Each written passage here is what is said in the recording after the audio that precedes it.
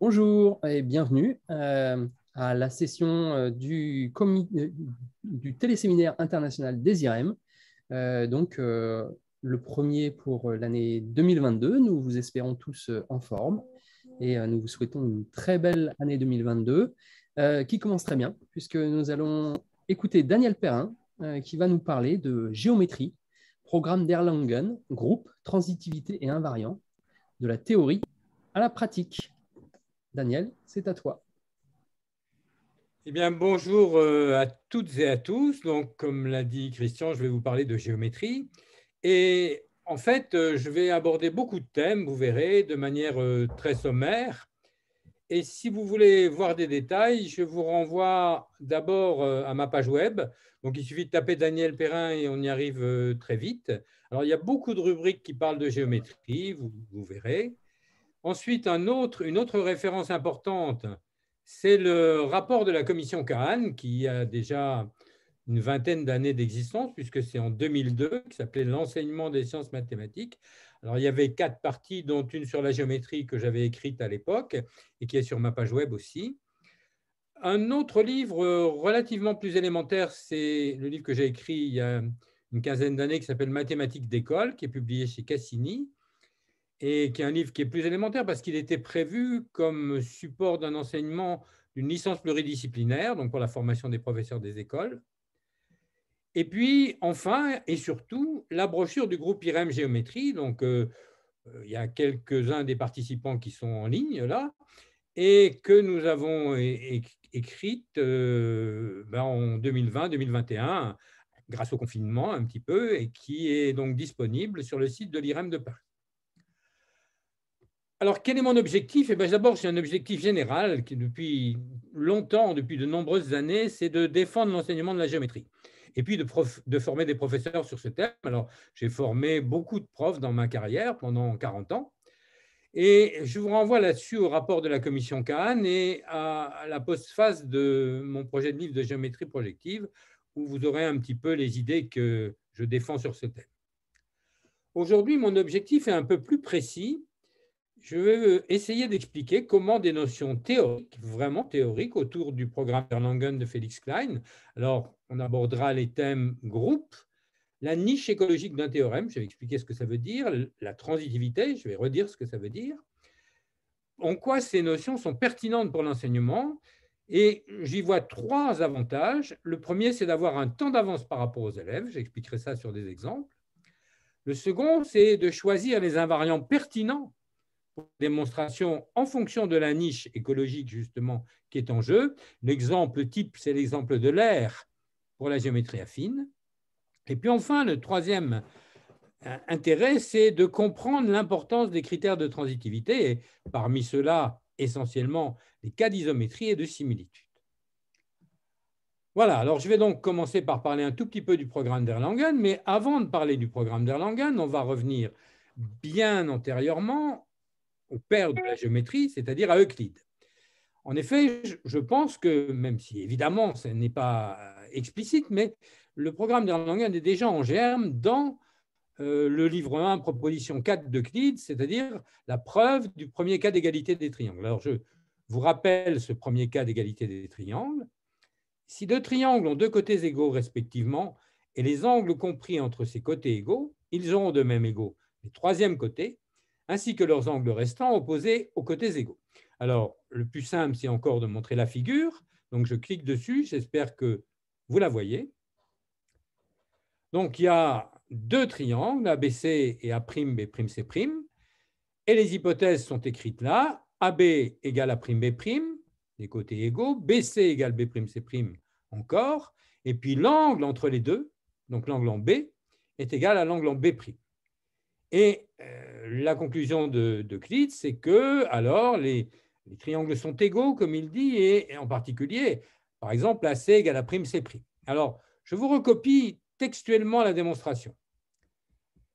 Voilà. En effet, si l'on appliquait le triangle, et je la, fais en même temps avec l'animation. En effet, si on appliquait le triangle ABC sur le triangle A'B'C', je le fais, de manière à faire coïncider d'abord les points B et B', puis les côtés BC et B'C', le point C coïnciderait avec C', car BC égale B', C'. Les côtés BA et B'A' coïncideraient alors, à cause de l'égalité entre les angles, en B et B', de sorte que le point A, à son tour, coïnciderait avec A', car BA égale B'A'. D'autre part, les points C, C' ayant déjà coïncidé, les côtés AC et il y, a un, effet Larsen là. Les côtés AC et A'C' coïncideront aussi et ils seront égaux. Alors cette démonstration, par ce qu'on appelle la méthode de superposition, hein, on a déplacé un des triangles pour l'amener sur l'autre, c'était celle qu'on donnait encore quand moi j'étais collégien dans les années 1950 et ça convainquait essentiellement tous les élèves. N'empêche qu'un mathématicien professionnel qui regarde cette démonstration est obligé d'y voir quand même un, problème, c'est que cette opération qu'on vient de faire là, qui consiste à appliquer, comme, dit Euclide, un triangle sur l'autre, elle n'a jamais été définie. Et donc, bien, c'est évidemment l'une des raisons pour lesquelles euh, ce début d'Euclide a été remis en cause, notamment par Hilbert euh, vers les années 1900, et où il a proposé de, bah, de prendre le premier cas d'égalité comme action. En fait, ce que je veux dire sur cette démonstration, c'est que j'y vois, en tout cas moi comme mathématicien moderne, deux choses. D'abord, j'y vois un groupe de transformation. Quand on déplace le triangle pour aller de B à B', on fait, disons, une translation que l'on compose ensuite avec une rotation. Donc, on utilise un groupe de transformation. Et puis, on utilise aussi une propriété de transitivité. Ça veut dire que ce groupe de transformation, il permet d'envoyer B sur B', puis la demi-droite BC sur la demi-droite B'C', donc il est transitif. Je vous rappelle ce que ça veut dire qu'être transitif pour un groupe. Ça veut dire que étant donné deux éléments de l'ensemble sur lequel opère le groupe, il y a toujours un élément du groupe qui passe de l'un à l'autre. Donc ici, on peut passer de B à B' et on peut passer de BC à B'C'. Alors je reviens au beamer. Donc les deux mots-clés implicites que je vois dans Euclide, c'est groupe de transformation et transitivité. Et comme vous allez le voir, on est essentiellement dans le programme d'Erlangen. Alors, qu'est-ce que c'est le programme d'Erlangen? D'abord, c'est la thèse de Felix Klein, qui est un mathématicien allemand. Elle a été soutenue à Erlangen euh, en 1872. Et quel est le but de la thèse de Klein? Eh bien, c'est d'unifier les géométries. Pourquoi?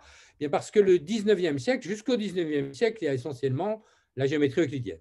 Mais euh, au début du 19e siècle, on voit l'explosion de la géométrie avec l'invention de la géométrie projective avec Poncelet, des géométries non euclidiennes avec Bolyai, Lobachevsky, Riemann, de la géométrie analagmatique, c'est-à-dire la géométrie de l'inversion, etc. Et donc, Klein veut unifier tout ça, et le principe unificateur est tout simple, c'est qu'une géométrie, c'est la donnée d'un ensemble X et d'un groupe G de transformation de X. Exemple, eh bien, je vais vous donner trois exemples. D'abord, le plan euclidien, d'abord, avec le groupe des isométries euclidiennes, bah, les isométries euclidiennes, vous savez bien ce que c'est, hein, je vous rappelle, c'est les translations, les rotations, les symétries centrales et axiales. Ensuite, un deuxième, un deuxième exemple de géométrie différente, c'est le même espace, c'est-à-dire le plan affine, mais où on oublie la structure métrique. Alors cette fois-ci, il y a plus de bijections intéressantes. Il y a les bijections affines, par exemple, en plus euh, euh, des affinités, etc. Puis enfin, encore un peu plus général, le plan projectif des homographies. Quel est l'intérêt de cette classification des géométries par leur groupe? Eh bien, Klein l'exprime ainsi, je cite, étant donné une multiplicité, alors une multiplicité, ça veut simplement dire un ensemble, et un groupe de transformation de cette multiplicité, on étudiait les êtres au point de vue des propriétés qui ne sont pas altérées par les transformations du groupe. Là, on voit apparaître la notion d'invariant, de propriété invariante par le groupe, et je reprends mes trois exemples. Si on regarde les homographies, les homographies du plan projectif, c'est simplement les transformations qui vont conserver le concours des droites et l'alignement des points. Donc c'est extrêmement minime comme conservation. Si on passe au groupe affine, les transformations affines conservent encore concours et alignement, mais en plus, elles conservent le parallélisme, les rapports de mesure algébrique sur une même droite, on reviendra sur ce thème tout à l'heure, en vérité, les transformations affines conservent tout ce qui s'exprime avec des vecteurs, bien entendu sans produit scalaire. Les transformations affines, c'est supposé sans métrique. Et puis, enfin, et c'est moins évident, les transformations affines conservent aussi les rapports d'air. Le troisième exemple, c'est bien sûr l'exemple de la géométrie euclidienne, avec les isométries, qui, en outre, évidemment, conservent les longueurs et les angles. Mais vous voyez, euh, quand on se place dans une géométrie donnée, on n'a pas forcément conservation des mêmes invariantes. Par exemple, en géométrie affine, longueur et angle ne sont pas conservés. Alors, eh bien, ça, ça me conduit à proposer une notion euh, de niche écologique d'un théorème. Je dis que chaque théorème a une niche écologique privilégiée qui tient aux propriétés qui mettent en jeu. Par exemple, trois exemples, Pythagore. Pythagore, c'est un théorème euclidien. Pourquoi? Parce que son hypothèse triangle-rectangle est une hypothèse euclidienne, on a besoin des angles droits. Sa conclusion, c'est une égalité de longueur, et donc on a besoin des longueurs aussi, donc c'est un théorème euclidien. Deuxième exemple, le théorème de Thalès. Alors là, je prétends qu'il s'agit d'un théorème affine. Voici la figure. Donc l'hypothèse de Thalès, je prends dans le cas le plus simple d'un triangle avec une parallèle, eh bien c'est qu'il y a une parallèle. Parallèle, c'est une notion affine. Et puis la conclusion, donc c'est AB' sur AB égale AC' sur AC égale B'C' sur BC. Attention, c'est une euh, conclusion qui, si on la formule en termes de mesure algébrique, est une propriété affine parce qu'on peut l'exprimer en termes de vecteurs et sans produit scalaire. Il n'y a pas besoin de longueur pour dire Thalès. Il suffit de dire, par exemple, que si le vecteur AB, c'est lambda fois le vecteur AB', eh bien, le AC, c'est lambda fois le vecteur AC' avec le même lambda. Donc, c'est aussi un théorème, c'est un théorème affine. Enfin, un exemple de théorème projectif, donc qui ne met en jeu que concours et alignement, c'est le théorème de Pappus, que voici. Alors, je vous rappelle l'énoncé. On a deux droites, les droites noires, là, avec trois points sur chaque, ABC sur l'une, A', B', C' sur l'autre. On joint chaque point avec ceux qui s'appellent pas pareils, hein, A avec B' et C', etc. On obtient trois paires de droites, les vertes qui se coupent en D, les bleus qui se coupent en E et les rouges qui se coupent en F. Et le théorème de Pappus, c'est que D et F sont alignés. C'est un théorème projectif parce qu'il n'y a aucune autre hypothèse que des alignements et des concours. Alors, ce que je dis sur les théorèmes, euh, la niche écologique d'un théorème, c'est que c'est dans ce cadre, ça c'est assez évident, qui s'énonce le plus généralement, et aussi, et ça c'est nettement moins évident, qu'il est le plus facile à prouver. Je vous donne un exemple, en tout cas avec l'énoncé le plus général, c'est le théorème de Pascal. Alors vous allez voir, Pascal, il ressemble comme un frère au théorème de Pappus. Attention, là, il y a du, du Larsen encore. Donc, le théorème de Pascal, on peut l'énoncer avec un cercle. On a un cercle.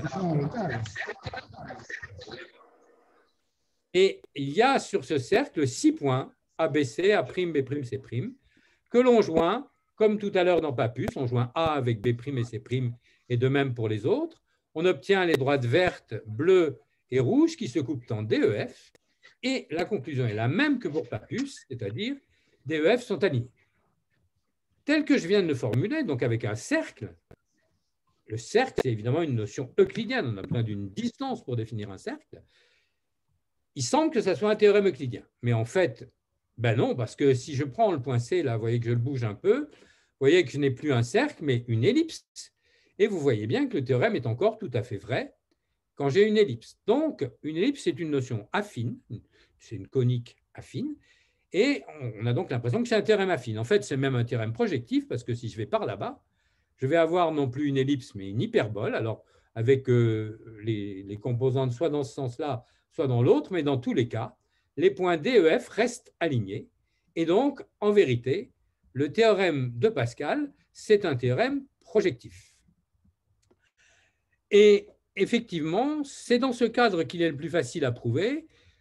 Bon, il y a beaucoup de, démonstrations du théorème de Pascal. Il y a par exemple la démonstration initiale de Pascal qui utilisait, qu'il démontrait d'abord avec le cercle, et puis ensuite qui passait euh, au cas général par une projection, c'est-à-dire une homographie en fait. Et puis, on peut aussi utiliser l'invariant de la géométrie projective, c'est-à-dire le birapport. Voilà, alors, ça, tout ça doit vous sembler complètement théorique, mais je prétends que si on est capable de repérer la niche écologique d'un théorème, on y trouve deux avantages quand on est professeur. Le premier, c'est de trouver rapidement le résultat cherché lorsqu'on a un problème ouvert, par exemple, souvent en se ramenant à un cas particulier. Alors, en général, cette procédure n'est pas au niveau des élèves, mais ainsi, on a un temps d'avance sur eux pour trouver en tout cas le résultat. On va en voir un exemple tout à l'heure. Et puis, deuxième point, lorsqu'il s'agit de proposer une preuve abordable par les élèves, eh bien, le programme d'Erlangen et le fait d'avoir repéré la niche écologique du théorème en question permet d'avoir une claire conscience des outils à utiliser qui vont être les outils relatifs à cette géométrie. Alors, je vais illustrer ces deux points. Euh, d'abord, l'histoire du temps d'avance et ensuite l'histoire des invariants.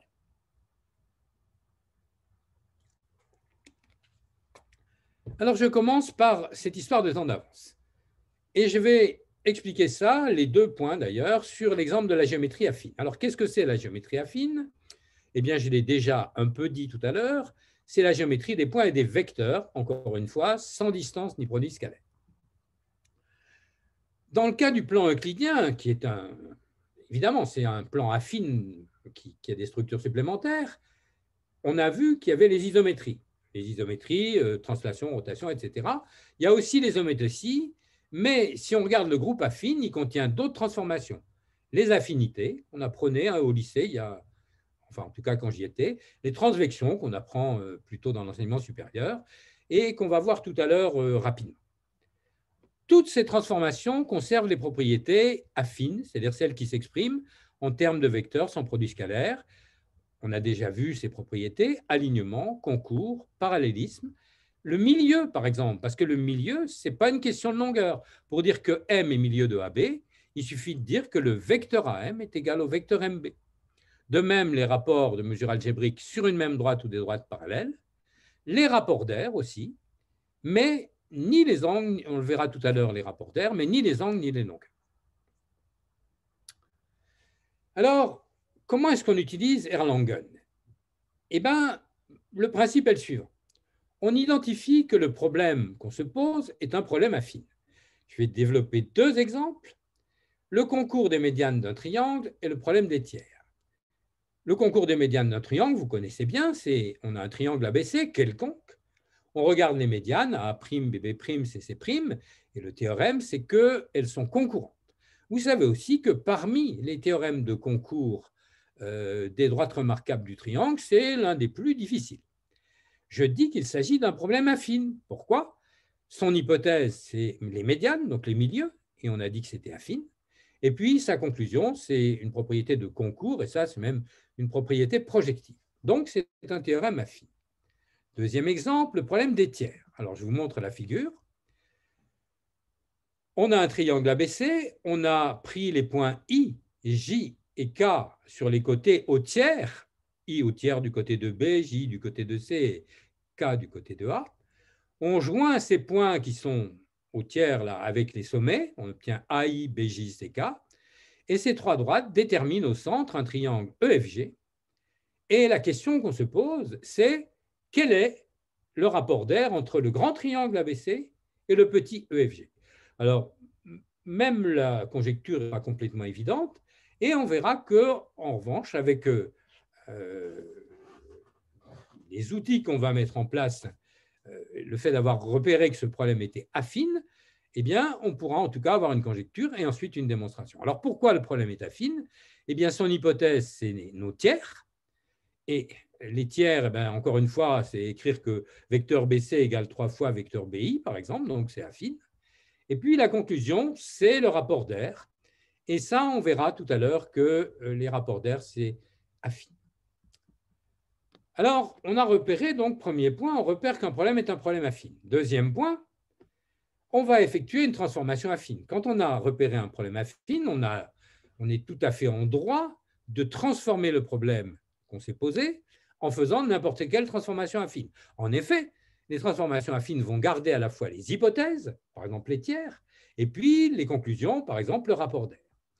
Et c'est là qu'on va avoir besoin d'une propriété de transitivité. Et donc, la propriété que je vais vous montrer, enfin, en tout cas vous faire voir, c'est que le groupe affine est transitif sur les triangles. Ça veut dire qu'on peut passer d'un triangle ABC à un triangle DEF par une application affine, quels que soient les triangles donnés. J'ai pris ici un triangle quelconque ABC et je prends un triangle DEF équilatéral et vous allez voir, par une suite de transformations affines, je vais passer de l'un à l'autre. Alors regardez, je fais ces transformations. La première, vous voyez bien ce que c'est, c'est une translation. Je suis arrivé, euh, j'ai mis A en D. Je fais ensuite une rotation autour de D. Voilà. Puis une homothétie. Je suis en E. Et maintenant, je fais une transformation. Ici, cette transformation que je suis en train de faire consiste à ne rien toucher sur DE, mais à me déplacer, à déplacer le point M sur une parallèle à DE. C'est ce qu'on appelle une transvection. Ah ben c'est là, pardon. Je ne sais plus où je dois prendre ça. J'arrive jusque-là. Puis je fais. Merci de couper les micros. Puis je fais une dilatation ou une affinité et je suis arrivé sur le triangle rectangle, sur le triangle équilatéral. Je répète donc une affinité, une transvection, une homothétie, une rotation, une translation, et j'ai pu passer d'un triangle quelconque à un triangle équilatéral. Alors, une fois que j'ai cette propriété de transitivité, ben, je dis que je peux résoudre mon problème. Qu'est-ce que je fais? Prenons par exemple le problème des médianes. Je vais prendre un triangle quelconque et me poser la question du concours de ces médianes, et puis je vais transformer mon triangle, je vais vous le montrer euh, en direct, je transforme mon triangle en un triangle équilatéral. Que deviennent les médianes? Eh bien, donc par les mêmes opérations que tout à l'heure, elles deviennent les médianes du triangle équilatéral. Ah, mais dans le cas équilatéral, vous savez bien que les médianes sont aussi bisectrices, auteurs, médiatrices. Et si je les pense comme médiatrices, la démonstration du concours de ces trois droites est très facile. Il suffit de considérer le point O intersection de deux médiatrices. On a à ce moment-là euh, à cause de la première médiatrice OF égale OE, à cause de la deuxième euh, OE égale euh, OF égale OD, pardon, et donc en définitive, OD égale OE, et le point O est sur la troisième médiatrice. Alors maintenant que j'ai montré ça, j'ai plus qu'à faire les transformations en sens inverse, et comme ces transformations conservent et les médianes et le fait qu'elles soient concurrentes, eh bien, elles sont concurrentes dans le triangle initial. Voilà donc comment on peut prouver un théorème qui est de nature affine en le ramenant à un cas particulier euclidien. Je fais la même chose avec les tiers, regardez. Donc je peux transformer, je l'ai fait directement, hein, j'ai transformé le triangle en un triangle équilatéral. Qu'est-ce que j'ai gagné? Ce n'est pas tout à fait évident, mais regardez, j'ai gagné ça. Si je trace les triangles verts, là, AFE et puis les autres, eh bien, ce que j'ai gagné, c'est que dans un triangle équilatéral, je sais qu'il y a des transformations qui conservent le triangle équilatéral. Ce sont les rotations de centre, le centre du triangle et d'angle plus ou moins 120 degrés. Et dans ces transformations, les sommets s'échangent, A donne B donne C, les points IJK s'échangent, et donc aussi les triangles verts qui sont permutés et les triangles gris qui sont là aussi sont permutés. Donc, ce que j'ai gagné, c'est que j'ai décomposé mon triangle ABC total en sept triangles, trois gris de même air, trois verts de même air, et puis le triangle central qui m'intéresse, le triangle bleu. Et évidemment, je vois bien la conjecture. On sent bien que ces sept triangles vont avoir la même aire et que donc la conjecture, c'est que l'aire du grand triangle, c'est sept fois l'aire du petit, et on le démontrera tout à l'heure. Voilà. Alors, bien sûr, cette procédure que je viens de faire, c'est-à-dire utiliser la transitivité. Ça n'est absolument pas applicable en classe. On ne peut pas raconter ça aux élèves. Mais en revanche, si le professeur a cette conscience de euh, la nature du théorème et donc des transformations qu'il peut faire, ça lui donne un temps d'avance sur ses élèves parce que ça lui donne le résultat à démontrer. Et je vous propose maintenant un exemple, un exemple élémentaire qui était dans les documents d'accompagnement des programmes de seconde du début des années 2000. Et ces programmes suggéraient justement d'utiliser cette idée du programme d'Erlanger. Voilà le problème. On a un parallélogramme ABCD, on prend un point E à l'intérieur et on regarde les deux triangles, donc le rouge et le vert, ABE, BCE, et on demande à quelles conditions sur le point E les aires rouges et vertes sont égales. Alors, on peut, avec GeoGebra, faire euh, l'expérience et trouver la conjecture, mais on peut aussi raisonner de la manière suivante. Il s'agit d'un problème affine. Pourquoi? Ben, Parce que l'hypothèse parallélogramme, donc des parallèles, est une hypothèse affine, et la conclusion, un rapport d'air, une égalité d'air, c'est une propriété affine. Puisque c'est un euh, théorème affine, je peux transformer mon parallélogramme par une transformation affine. Alors, en quoi je peux transformer un parallélogramme par une transformation affine? Ben, Un parallélogramme, c'est jamais que deux triangles à coller, ABC et euh, ACD, et je sais que par une transformation affine, le triangle ABC, je peux le transformer en n'importe quel triangle. Par exemple, un triangle rectangle isocèle. Et dans ce cas-là, que va devenir le parallélogramme? Eh Bien, Il va devenir un carré. Alors, ah, pardon, il devient un carré. Alors voilà l'exemple. Et donc, je prétends qu'il suffit pour avoir le résultat, pour savoir ce qui se passe, que je traite le cas du carré, puisque c'est une propriété affine. Mais dans le carré, j'ai gagné quelque chose.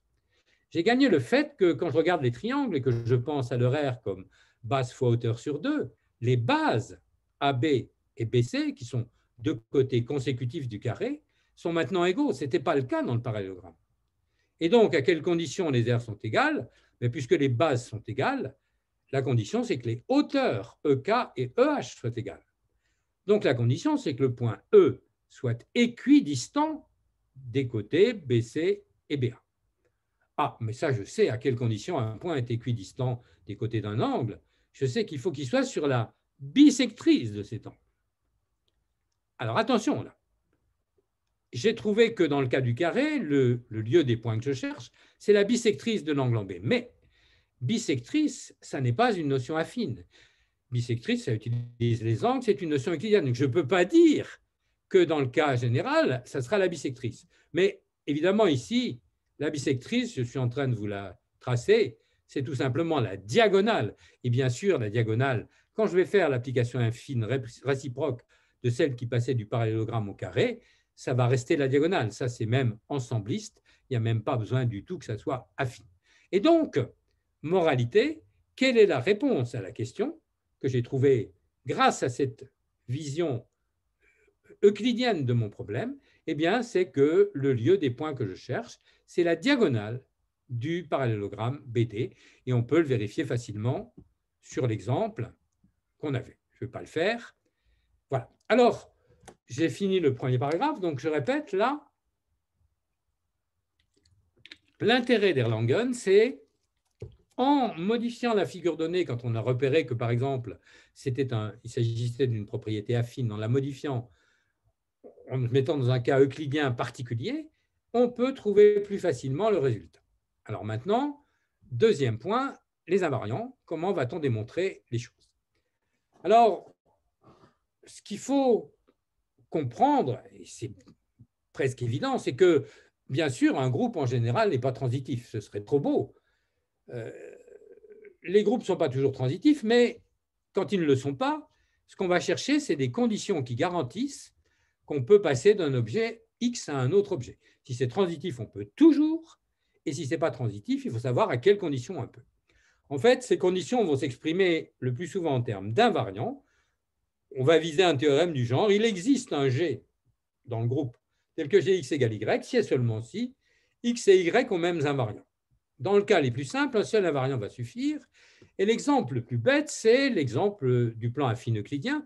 Quand on est dans le plan affine euclidien, qu'on regarde les points. On prend deux points, on peut toujours les envoyer l'un sur l'autre par une isométrie. Il n'y a qu'à faire une translation, voire une symétrie par rapport à la médiatrice. Enfin, le groupe des isométries est transitif sur les points, certes. Mais si on prend les couples de points, ben c'est plus vrai du tout. On ne peut pas envoyer un segment AB sur un segment CD quelconque. Il faut, pour qu'on puisse le faire, qu'ils aient même longueur. L'obstruction à la transitivité, c'est un invariant qui est un invariant du couple AB qui est la longueur AB. De la même manière, si on prend les couples de demi-droite, on ne peut pas les envoyer, on peut pas envoyer deux couples de demi-droite euh, les uns sur les autres, sauf si les angles sont les mêmes et on, a comme ça l'invariant. Alors, quand on est en géométrie affine, j'ai déjà dit ça tout à l'heure, un des invariants de la géométrie affine, c'est l'air, plus précisément les rapports d'air. Alors, comment va-t-on utiliser ces invariants? Eh ben, Bien sûr, si vous avez déjà fait un tout petit peu de géométrie, vous savez bien que les invariants jouent un rôle crucial. Vous savez bien que les angles et les longueurs en géométrie euclidienne, ils sont fondamentaux. En fait, oui, c'est évident, mais il y a une vraie raison théorique qui justifie ça. C'est le fait que tout théorème, tout théorème, je dis bien, d'une géométrie donnée est la traduction d'une relation entre des invariants de cette géométrie. Et donc, quand on travaille en géométrie affine, eh bien, le principe est le suivant. Quand on a repéré qu'un problème relève de la géométrie affine, il peut toujours être résolu en utilisant l'unique invariant du groupe affine, qui est l'air. Le groupe affine, ce n'est pas non plus trivial, ça. Hein. il a un seul invariant.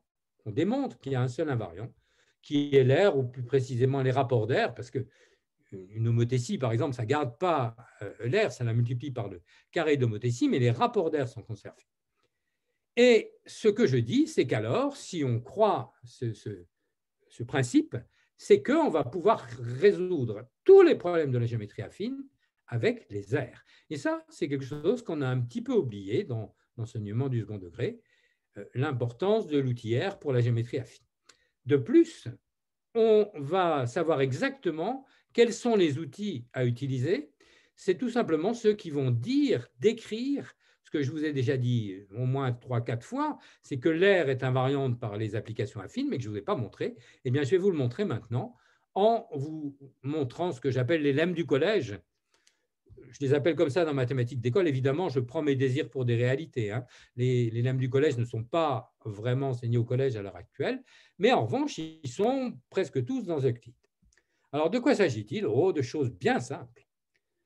Les deux premiers, c'est le lemme du demi-parallélogramme. Qu'est-ce qu'il dit le demi-parallélogramme? Il dit que quand on a un parallélogramme, ABCD, c'est diagonal le partage en deux triangles de même aire. Pourquoi? Eh Parce que tout simplement, soit vous dites ces triangles sont isométriques, soit vous dites on passe de l'un à l'autre par la symétrie de centre, le centre du parallélogramme.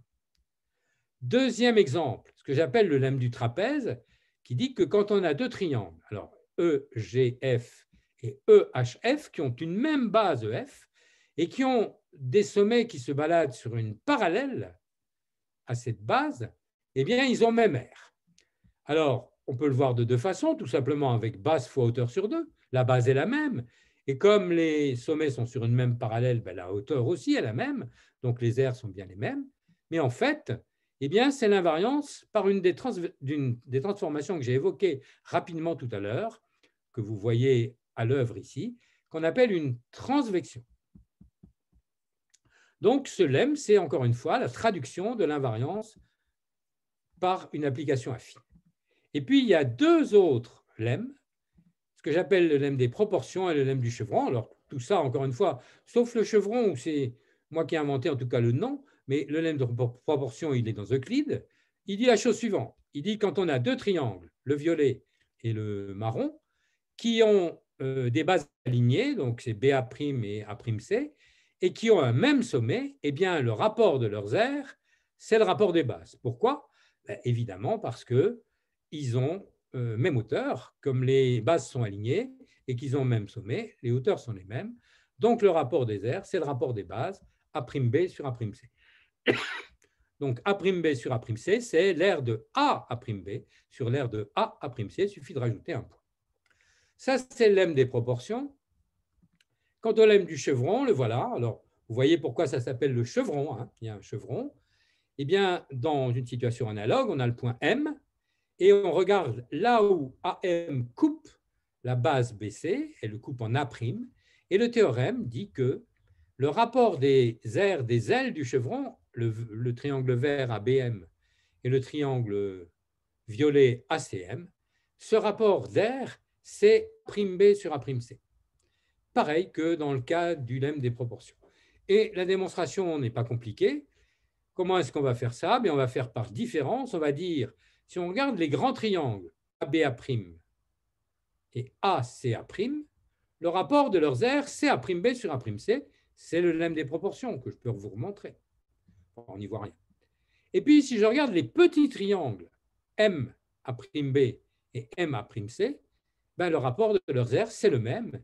Et par différence, eh bien, le rapport des aires AMB et AMC, qui sont les différences des deux, c'est encore A'B sur A'C. Voilà donc tous les lemmes. Je prétends qu'avec tous ces outils-là, le lemme du demi-parallélogramme, du trapèze, des proportions du chevron, on peut démontrer tous les théorèmes de nature affine. Et je vous montre quelques exemples. D'abord, le théorème le plus emblématique de la géométrie affine, c'est le théorème de Thalès. Alors, comment montrer le théorème de Thalès? Donc, Je rappelle, l'hypothèse, c'est que B'C' est parallèle à BC, et je vais vous montrer que AB' sur AB égale AC' sur AC.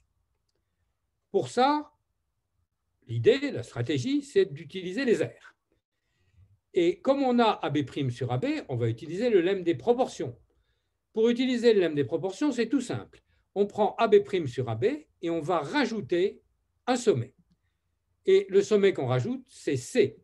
Et donc, on dit que AB' sur AB, c'est l'aire du triangle AB', C sur l'aire du triangle ABC parce que bah, ils ont même hauteur et donc c'est le rapport des bases. Ça, c'est pour le premier rapport. Pour le deuxième rapport, AC' sur A'C, c'est pareil. Mais je fais ça avec le point B. Et donc, vous voyez, ce que j'ai à montrer, ce que je viens de montrer, c'est que AC' sur AC, c'est le rapport de l'aire de ABC' sur ABC. Donc, le triangle qui est, j'enlève le premier pour qu'on voit bien le deuxième, le triangle violet sur le triangle total. Et maintenant, si j'ai les deux, eh bien, je constate que ces rapports, quand je les exprime avec les aires, j'ai pris soin évidemment de prendre la même aire en dénominateur qu'est l'aire du triangle total. Donc, comment est-ce qu'il faut, qu'est-ce qu'il faut faire pour montrer que les rapports sont égaux? Ben, Il suffit de montrer que les numérateurs sont égaux.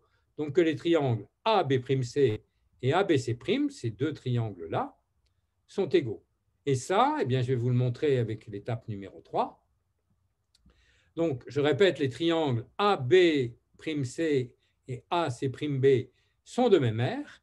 Pourquoi? Ben, Parce qu'en commun, ils ont AB'C', le triangle marron, et qu'à part ça, ils ont le triangle vert pour l'un, le triangle violet pour l'autre. Il suffit donc de montrer que le vert et le violet ont même aire, mais ça, c'est le lemme du trapèze. Donc, vous voyez, le théorème de Thalès, c'est la conjonction de deux des résultats, deux des lemmes du collège, le lemme des proportions et le lemme du trapèze. Et ça, on peut le faire euh, dans le groupe de travail. Euh, c'est quelque chose qui a été testé dans la classe d'Anne Pinvidic et qui fonctionne tout à fait bien avec des élèves de 3 Voilà le premier exemple. Deux autres exemples, les médianes et les tiers. Les médianes, c'est, je vous rappelle, c'est un théorème qui est quand même peut-être le plus délicat des théorèmes de concours des droites remarquables du triangle. Alors, je démontre le théorème des médianes en disant la chose suivante, je regarde ABC, je regarde les deux médianes BB' et CC', et j'utilise le lemme du chevron. Quand je regarde la médiane BB', le chevron qui lui est associé, c'est celui qui a une aile rouge et une aile verte. Et comme B' est au milieu de AC, eh bien, le rapport de ces aires, c'est B'A sur B'C, c'est 1. Autrement dit, ce que je trouve, c'est que rouge égale vert.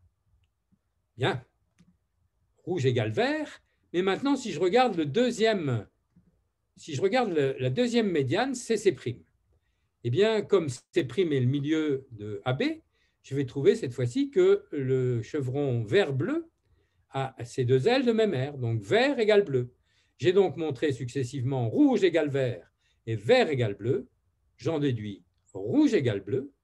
Mais rouge égale bleu, si je prolonge AG jusqu'à ce qu'il coupe BC en A', eh bien rouge égale bleu, d'après le lemme du chevron dans l'autre sens, c'est dire que A'B égale A'C, le rapport des aires, c'est le rapport A'B sur A'C, autrement dit, dire que A' est le milieu, et donc, j'ai bien montré que le point G est sur la troisième des médianes, donc que les médianes sont concurrentes.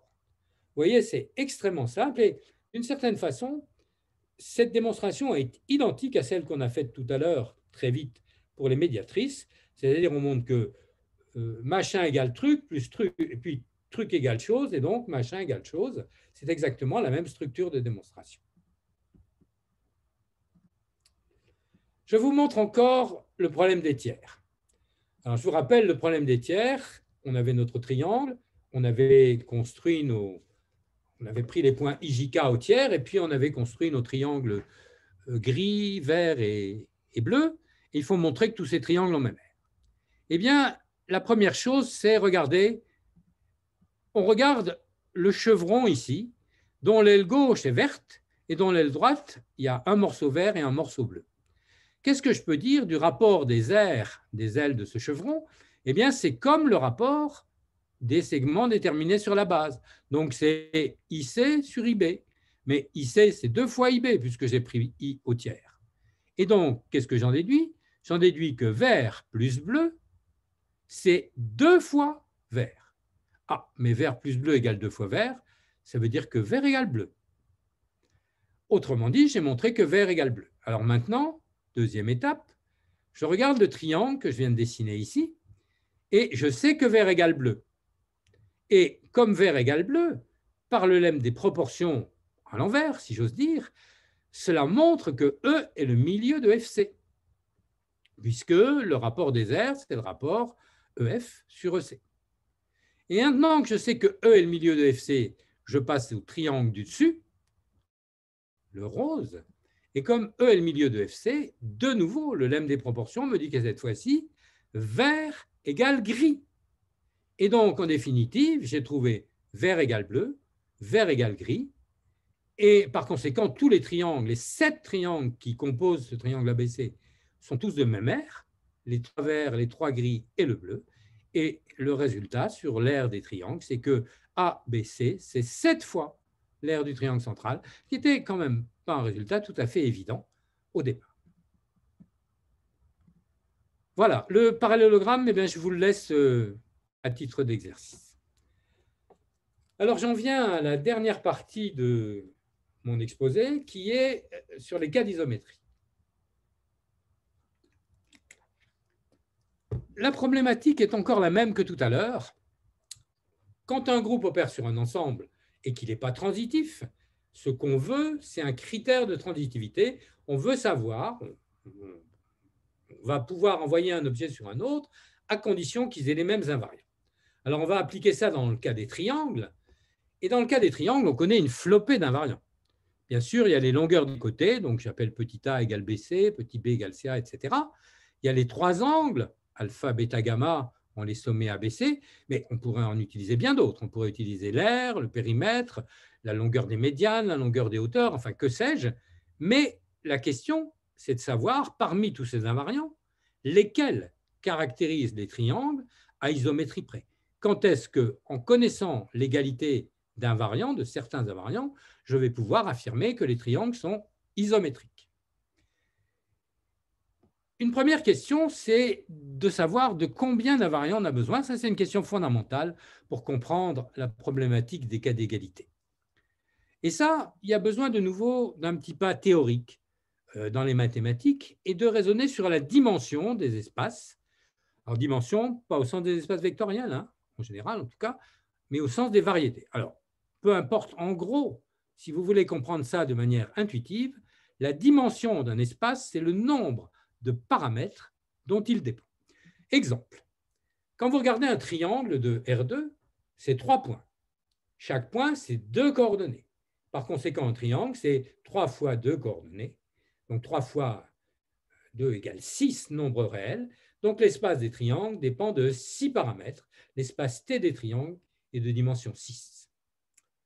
Maintenant, on ne s'intéresse pas seulement aux triangles. On s'intéresse aux triangles. Hein, va identifier certains triangles.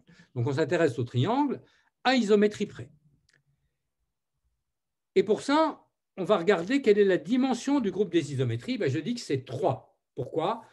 Eh bien parce qu'une isométrie directe, en tout cas, un déplacement, vous pouvez l'obtenir en faisant d'abord une translation. Et ça, les translations, c'est de dimension 2, parce qu'une translation, c'est un vecteur, et qu'un vecteur, c'est deux coordonnées. Et puis ensuite, une fois que vous êtes arrivé au point que vous voulez, il vous suffit de tourner par une rotation. C'est un peu, souvenez-vous ce qu'a fait Euclide, euh, ce qu'on a vu tout à l'heure, une translation plus une rotation de centre donné. Et ça, c'est de dimension 1 parce que ça ne dépend que de l'angle. Donc, le groupe des isométries est de dimension 3. Et bien maintenant, il y a un théorème, en tout cas général, qui explique que alors l'espace des triangles modulo isométrie, il est de dimension la différence des deux. Ça se comprend parce que chaque fois qu'on rajoute une dimension du groupe, ça veut dire qu'on va identifier certains triangles, donc on va faire diminuer la dimension de l'espace. Et donc, la dimension de l'espace des triangles à isométrie près, c'est 3. Moralité, de combien d'invariants on a besoin pour caractériser un triangle modulo isométrie? Eh bien, de 3 invariants. Alors ça, ça n'a l'air de rien, mais ça permet par exemple de répondre à une question comme celle qui était posée il y a quelque temps dans un bulletin de l'APM. Deux triangles qui ont même aire et même périmètre sont-ils isométriques? La question a été posée ça, et bon, moi, avec cette euh, habitude que j'ai de penser en termes de dimension, ben, j'ai répondu immédiatement, ben non, ben non, c'est pas possible parce que pour être sûr que des triangles sont isométriques, il faut au moins trois invariants. Et si vous voulez avoir des détails sur cette situation, je vous renvoie à une conférence que j'ai faite en 2013 à l'IREM de Paris et qui est sur ma page web. Bien, donc, résumons-nous. Pour montrer que deux triangles sont isométriques, on a besoin de trois invariants. Alors, il faut trois invariants, mais quand même pas tout à fait n'importe lesquels.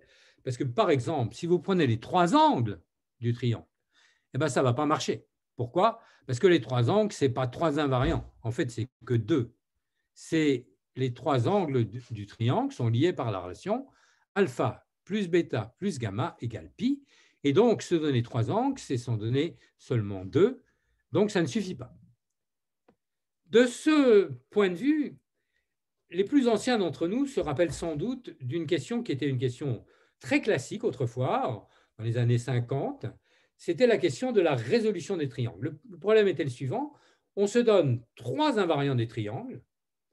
Je ne sais pas, euh, par exemple, l'air est de longueur des côtés ou trois hauteurs ou bien ce que vous voulez. C'était une mine inépuisable d'exercices.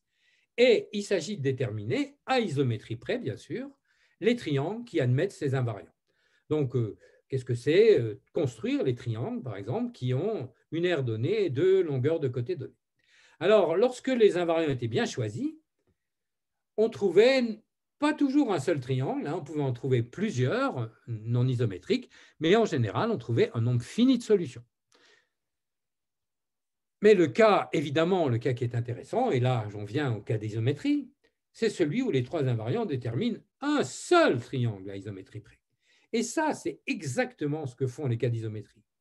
Les cas d'isométrie, je vous les rappelle, on a vu tout à l'heure celui, la proposition 4 d'Euclide. Donc, si les triangles ont deux côtés égaux et l'angle compris entre ces côtés égal, ils sont isométriques.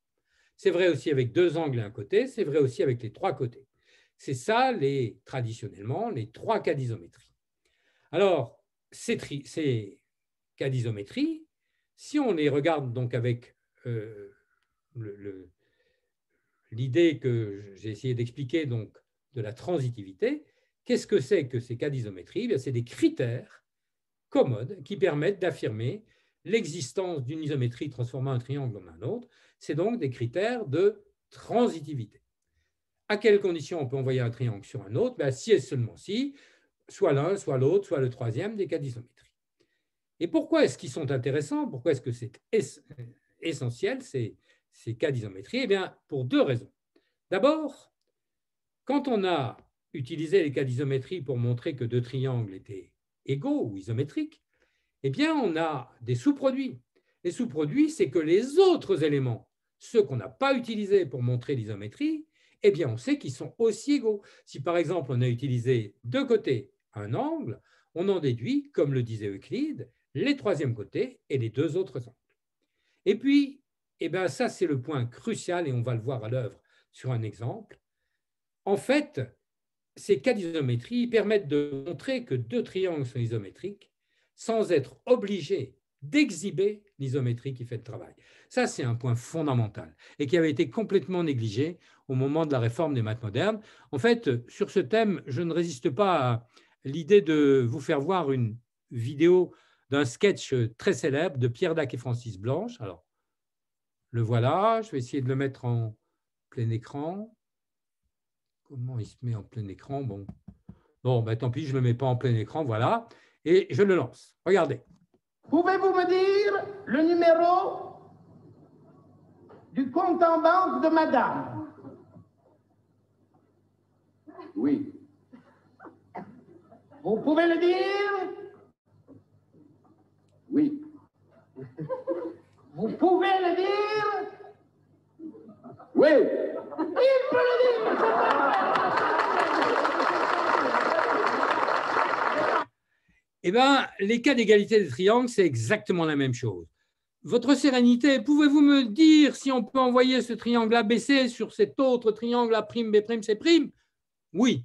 Vous pouvez le dire Oui. On l'applaudit bien fort. Et je n'ai pas besoin, comme Pierre Dac, de dire comment je fais pour eux et de dire quelle est la transformation qui fait le travail. Alors, comment est-ce qu'on va utiliser les cas d'égalité comme outil de démonstration? Là, on va revenir à ce qu'on peut faire dès la classe de cinquième, à mon avis. Quel est notre objectif? Bien, Notre objectif, les cas d'égalité, c'est un outil, il faut bien comprendre ça, qui permet de montrer l'égalité soit de longueur, soit d'angle. Et comment est-ce qu'on fait pour ça? Eh bien, le mot-clé, c'est on incorpore les éléments qu'on cherche dans deux triangles qui, à l'œil, ont l'air pareils. Et puis, on démontre que ces triangles sont isométriques en prouvant, grâce au cas d'égalité, que trois de leurs éléments sont égaux, et ça, ça montrera qu'ils sont isométriques par les cas d'égalité. Et puis, on conclut. Et je vais vous montrer un exemple avec plusieurs preuves. Donc, on va passer pas mal de temps sur cet exemple, qui est mon exemple favori. Alors, sauf que je ne... Pardon. Ah.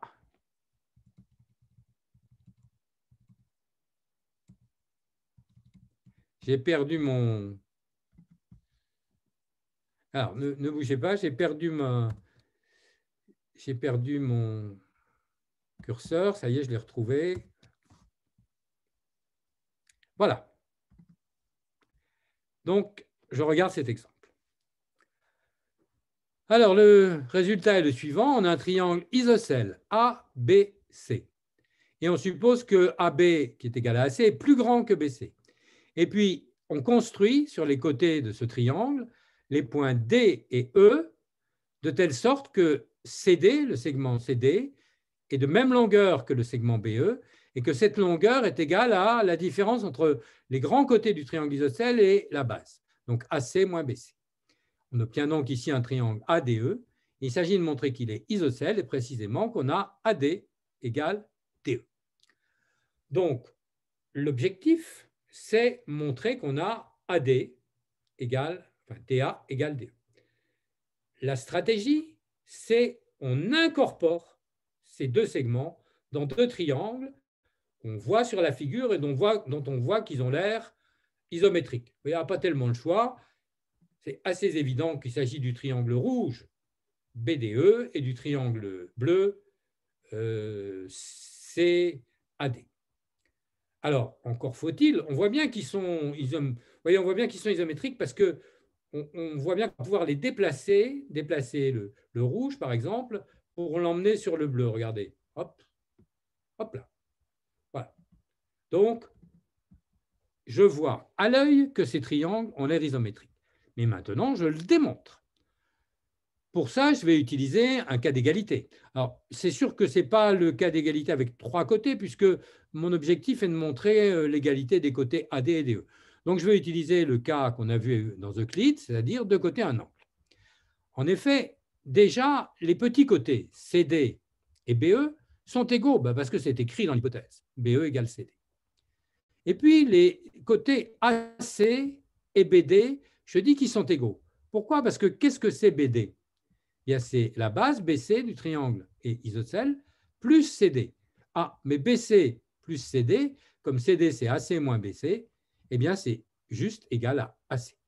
Donc, je résume, on a l'égalité des petits côtés, BE et CD, puis des côtés moyens, BD et CA, et il ne nous manque plus que l'angle entre les deux, c'est-à-dire ici, les angles obtus en C et en B.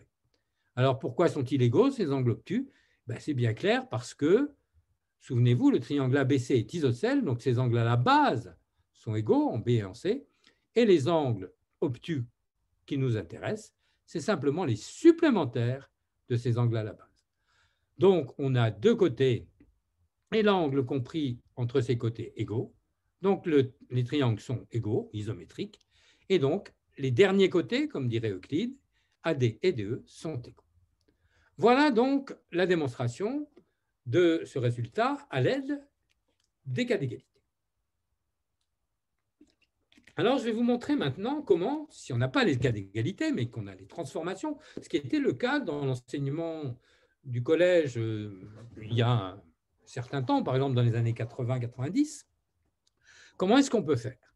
Ce n'est pas tout à fait évident parce qu'il faut trouver, pour montrer que DE égale à avec les transformations, il faut trouver une transformation qui va transformer DE en AD. Alors, il y en a, on peut faire des tas de démonstrations comme ça, mais vous allez voir que, en tout cas, si je vous renvoie à la brochure 100, vous verrez que toutes celles qu'on a pu répertorier sont quand même assez compliquées. Qu'est-ce que ça peut être la transformation qui transforme, bah, par exemple, le triangle rouge en le triangle bleu?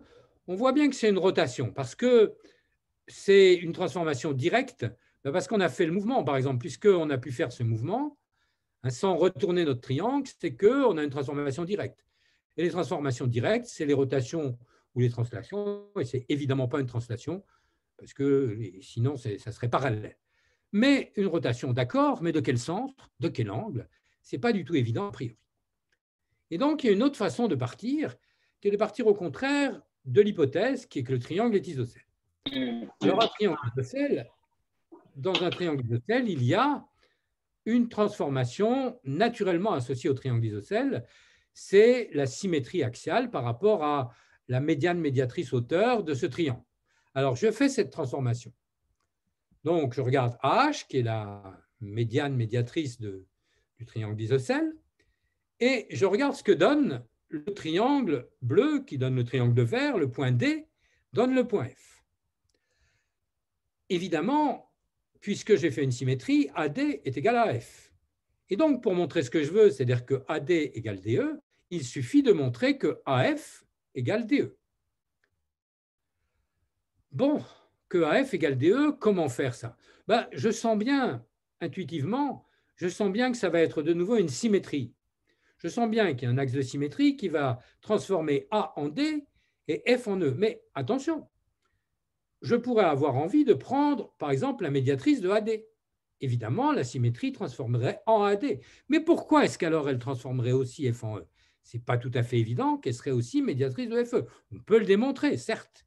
De même, si on prend la médiatrice de FE, ce n'est pas tout à fait évident qu'elle est médiatrice de AD. En fait, le plus simple, c'est de prendre la bisectrice de l'angle en B et à ce moment-là, de dire que le triangle ABD, par exemple, est isocèle.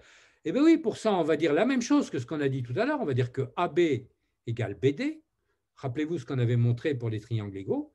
Et à ce moment-là, la bisectrice sera aussi médiatrice. Et puis de même de l'autre côté, et on aura gagné. Mais vous voyez que quand même, c'est nettement plus laborieux, cette démonstration, que la démonstration par les cas d'égalité. Alors, je vais maintenant faire une analyse qui est faite vraiment dans la brochure, de façon détaillée dans la brochure numéro 100 de l'IREM de Paris, sur euh, une critique des preuves par les transformations.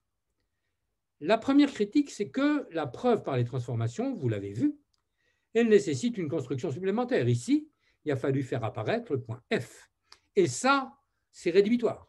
Parce que, ou bien on laisse les élèves faire et jamais ils vont inventer ça, sauf s'ils sont vraiment très forts, et ou bien on leur dit tout et on, est obligé de détailler complètement l'exercice. Pardon, alors c'est pas ça. Le deuxième point, c'est que les démonstrations avec les transformations sont moins visuelles. Alors là, dans la démonstration que je vous ai faite, j'ai été gentil avec vous, c'est-à-dire j'ai laissé les triangles. Donc on voyait encore l'action sur des surfaces qui sont beaucoup plus visuels, euh, les triangles pleins, que les lignes ou les points, et donc qui font que l'utilisation des cas d'égalité, c'est plutôt plus facile pour des élèves, surtout pour les débutants. Ensuite, eh bien ça, on l'a vraiment vu dans la démonstration par les transformations, il faut repérer quelles sont les transformations pertinentes. Quand on fait la démonstration pour les cas d'égalité, on dit il peut le faire. il n'y a pas besoin de dire comment. Tandis qu'ici, il faut dire qu'il y a une rotation, mais dans ce cas-là, quel centre, ou bien, et c'est encore plus compliqué, composé de symétrie. Quatrième point, je dis que les preuves sont plus compliquées à écrire. Pensez dans l'exemple qu'on a regardé au cas des médiatrices. C'est une grosse difficulté pour les élèves de penser que quand on a montré que si on a pris comme droite pointillée celle qui était médiatrice d'un côté, c'était, il fallait aussi démontrer qu'elle était médiatrice de l'autre. Ça, les élèves vont avoir tendance à dire que, bah oui, elle est médiatrice des deux côtés. Et puis enfin, le dernier point, qui est un point qui concerne l'ensemble du cursus, c'est que pour que l'usage des transformations soit efficace, et il l'est hein, en définitive, mais il y a besoin de toutes les transformations. On aura besoin dans certains types de problèmes des symétries axiales, dans d'autres des translations, dans d'autres des rotations. Et dans euh, la façon dont étaient faites, euh, étudiées ces transformations au collège dans les années 90, eh bien, on voyait les symétries axiales en sixième, centrales en cinquième, les translations en quatrième, les rotations en troisième, de sorte qu'il fallait attendre la troisième pour avoir toutes les transformations. Voilà, alors, je pourrais vous donner d'autres exemples, mais je crois que là, il est l'heure. Il y a beaucoup, beaucoup d'exemples de ce type et beaucoup aussi avec les cas de similitude. Dans la brochure IREM numéro 100, vous voyez, si vous insistez, là, j'en ai euh, un autre, et puis encore, encore, encore, et un pour la route. Donc, si vous insistez, je vous les montrerai, mais je ne vais pas faire ça. Simplement, quelle est la conclusion qu'on tire de ces exemples? Eh ben, C'est que l'ostracisme envers les cas d'égalité qu'avaient prononcé les promoteurs de la réforme des maths modernes, je vous rappelle que Dieudonné avait écrit à bas Euclide plus de triangles et il, il y avait une diatribe virulente sur l'usage des cas d'égalité par rapport à l'usage des transformations. Le résultat, c'est que les cas d'égalité, qui étaient l'outil utilisé par tous les géomètres depuis Euclide jusqu'en 1970, à partir de 1970, il avait complètement disparu, en tout cas en France, de l'enseignement au collège et au lycée. Alors, il est revenu subrepticement en seconde à la fin des années 90, en 2000, disons, puis il est reparti euh, aussi vite, ou presque, en 2007, et puis heureusement, il est revenu en 2015 au collège, et c'est pour ça que le groupe IREM euh, Géométrie propose des stages de formation continue pour expliquer quel est l'intérêt. Alors, je prétends que c'était vraiment injuste parce que euh, même, quand comme c'est mon cas, on garde en tête et on a comme toile de fond le programme d'Erlangen, donc l'usage des transformations, eh bien, les cas d'isométrie conservent un grand intérêt comme critère de transitivité. Comme disait Pierre Dac, il peut le faire, plutôt Francis Blanche, il peut le faire. Alors, ces arguments que j'ai énoncés ci-dessus, c'est ce qui nous a servi donc dans le groupe géométrie de l'IREM de Paris pour élaborer cette fameuse brochure numéro 100, que je ne peux que vous conseiller de lire. On y propose une progression pour l'enseignement de la géométrie au collège qui s'appuie sur des aspects théoriques, comme je vous ai montré, mais aussi sur beaucoup, beaucoup euh, d'expérimentation dans les classes, et dont le principe, c'est qu'elle récuse l'usage trop précoce des transformations en privilégiant au contraire deux points qu'on a vus aujourd'hui, l'utilisation des invariants et en particulier des airs, et puis les cas d'isométrie, l'utilisation des cas d'isométrie et de similitude des triangles. Et voilà, ben, j'en ai terminé. Je vous remercie de votre attention et je peux répondre à des questions s'il y a des, des questions. Merci beaucoup, Daniel. Euh, c'était euh, vraiment très intéressant. Euh, donc, j'imagine que tu nous laisseras ton, ton, tes, c'est transparent qu'on puisse les mettre sur le, le, site Oui, euh, oui, oui c'est plus que ça même. Donc, d'une part, euh, il y aura évidemment les transparents. Euh, le problème des transparents, c'est qu'ils appellent des figures GeoGebra. Alors, je peux les mettre aussi. Et puis, j'ai écrit un papier dans lequel les figures sont incluses dans le papier. Alors, elles ne sont pas animées, évidemment, c'est un papier où elles sont fixes, mais que je, bah, je te l'ai déjà envoyé et, je, veux quand même euh, réviser juste notamment s'il y a des questions, ça me permettra peut-être éventuellement de revoir ce que j'avais prévu, mais dans, disons, dans les jours qui viennent, vous aurez tout. Merci bien. Donc, euh, il n'y a pas eu de, questions dans le chat. Dans le chat, il y a eu des, euh, des, apports qui ont été euh, donnés sur des références. voilà. Mais donc oui, si peut-être quand même une. donc chaque théorème, tu nous as montré, possède une niche écologique mais il faut parfois faire un peu euh, une enquête. Quoi. Donc, euh, le théorème de Pascal, il est présenté sous une forme euclidienne, mais dans les faits, il est, euh, il, est, il est plus, plus fondamental et projectif à, la fin. Donc, est-ce que tu pourrais dire ça? Puis après, ce sera Pierre Arnoux qui pourra. Oui, alors, je, je redis ça, effectivement. Bien sûr, on peut ne pas s'apercevoir. Je, je, je, vais dire ça de, en donnant plusieurs exemples sur ce point-là. C'est vrai que ce n'est pas complètement évident. Euh, le théorème de Pascal, on peut se contenter de le voir sur le cercle. Ce n'est que si on s'aperçoit qu'il est aussi valable pour euh, les ellipses et pour les hyperboles qu'on va comprendre qu'il s'agit d'un théorème projectif. Il y a un autre exemple très célèbre de propriété, c'est ce qu'on appelle l'ellipse de Steiner. L'ellipse de Steiner, c'est le théorème suivant. On prend un triangle ABC les milieux des côtés et on affirme qu'il existe une et une seule ellipse qui est tangente aux côtés du triangle en les milieux, qu'on appelle l'ellipse de Steiner. En fait, ce théorème, tel qu'il est dit avec les milieux, c'est un théorème affine, puisque les milieux, c'est une hypothèse affine.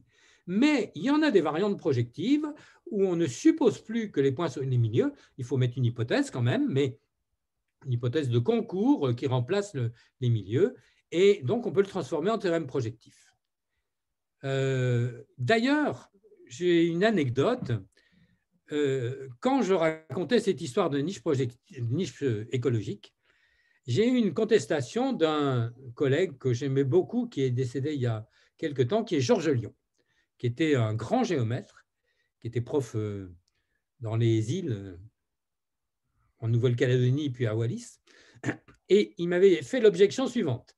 Il m'avait dit, c'est bien gentil ton histoire de niche écologique, mais quand on regarde le théorème de Seva, le théorème de Seva, il, dit que quand euh, on a euh, euh, un triangle et trois points sur les côtés, et qu'on regarde les rapports de, des mesures algébriques des, des, déterminé par les, points sur les côtés, qu'on en fait le produit et qu'on trouve moins 1, alors on trouve moins 1 si et seulement si les droites A', BB', CC' joignant les sommets aux points sur les côtés sont concurrentes ou parallèles. Et Georges Lyon m'avait dit, mais ton histoire de niche écologique, ça ne va pas du tout parce que l'hypothèse est une hypothèse affine et pourtant la conclusion est une conclusion projective puisque c'est concurrente ou parallèle et donc concurrent dans le projectif. Et en fait, eh j'ai répondu à cette euh, objection dans le, le, gros bouquin de géométrie projective que je suis en train d'écrire, qui est sur ma page web, en fait, en trouvant une hypothèse projective à ce théorème, de sorte qu'il est vraiment projectif. Mais tu as raison, ce n'est pas toujours évident de repérer la niche en question.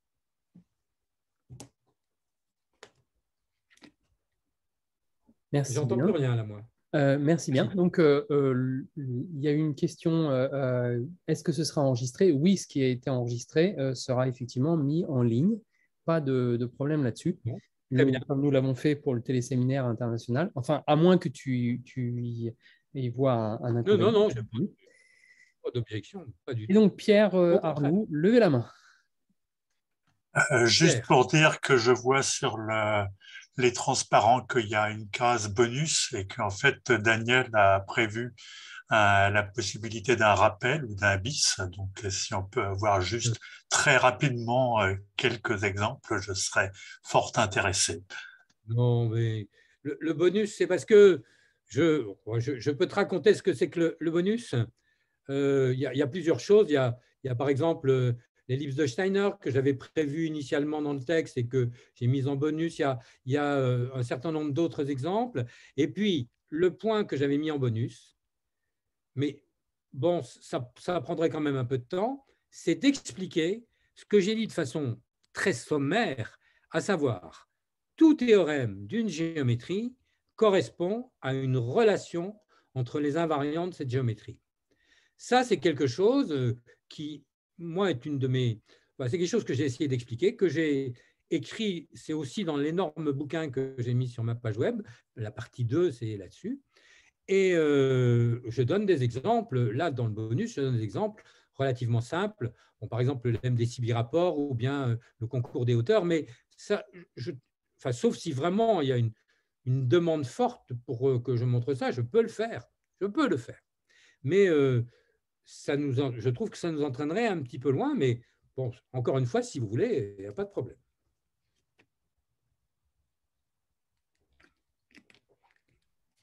Ah, excusez-moi, c'est bien tout théorème d'une géométrie énonce une relation entre ces invariants, c'est ça? Alors, ah, je vais vous en montrer un exemple. Ah, merci. Ne bougez pas. Il faut que je retrouve où il est, à relation. Voilà, voilà. Voilà. Nous sommes en géométrie euclidienne. Les invariants de la géométrie euclidienne, c'est les angles et les longueurs, mais qu'on peut dire de façon plus savante en termes de produits scalaires, les produits et les carrés scalaires. L'avantage de penser en termes de produits scalaires et de carrés scalaires, c'est que par rapport aux coordonnées des points, c'est maintenant des polynômes les coordonnées des points. Bon, c'est à peu près évident. Et ça va avoir un sens de dire qu'il y a une relation entre ces invariants, donc les produits scalaires, vus comme coordonnées des points. En voici une de relation. Oh, relation bien triviale. Hein.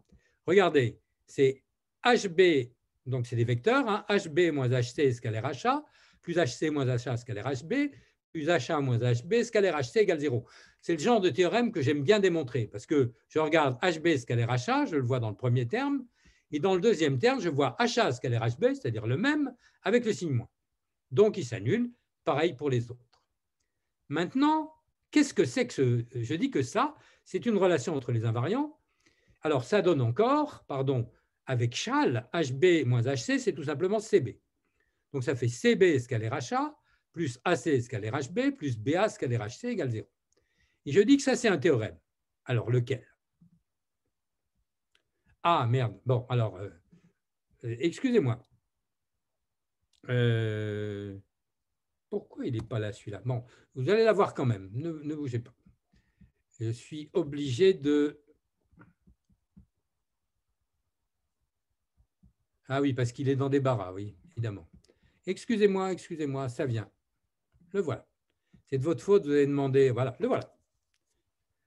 Donc, qu'est-ce que c'est que cette relation CB scalaire HA plus AC scalaire HB plus BA scalaire HC égale 0 Eh bien, je regarde dans le triangle ABC, les deux hauteurs, c'est l'issue de B, c'est l'issue de C, qui se coupent en H, et je suppose que, bon, c'est les hauteurs, et qu'est-ce que ça fait dans mes produits scalaires?